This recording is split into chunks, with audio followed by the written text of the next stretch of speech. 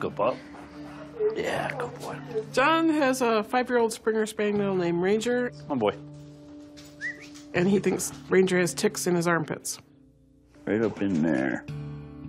Never found ticks on him before, so this is a first. Springer Spaniels were bred to flush game out in the field. Their long coats are an easy hiding spot for ticks. Hello, how are you? Good, how are you? Good. It's good that John is bringing Ranger in today. Let's go ahead and set him up on the table and see what he's going to let us do here. Ticks can carry some very bad diseases. including Lyme disease and Rocky Mountain spotted fever. I know, it's just get you back terrible. Both can be deadly. I'd like to get the ticks off from him. Oh, yeah. And we can discuss further testing and what we might need to do if, if Ranger has any of the tick-borne illnesses. What is that? These aren't bugs, they're just scabby, crusty stuff. Is that what that is? Yeah, it's like, um, See, that looks like bugs to me, so. Nope, it's as long not. as you're good with it.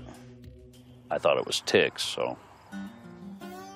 I thought he was chewing at bugs on his armpits, you know. no, most likely this problem started as an allergy.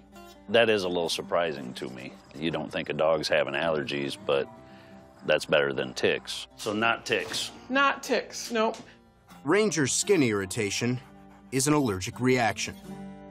The allergies are either to something in his food or something in his environment. Springer Spaniels are more prone to allergies than other breeds. So I'd like to give him a product to kind of settle down the allergy portion of it. Like in within a few hours, you're going to see him sort of take a big sigh and relax, like, wow, I'm not itchy anymore. And then I'm also going to put him on an antibiotic. He gets a half a tablet in the morning, half a tablet at night, and then it's just up to us to manage the topical part with the stuff that's caught in his hair. My whole family has allergies. Now my dog has allergies. There you go. Oh, yeah, he'll make it just fine. Again, real glad to hear he doesn't have ticks, so.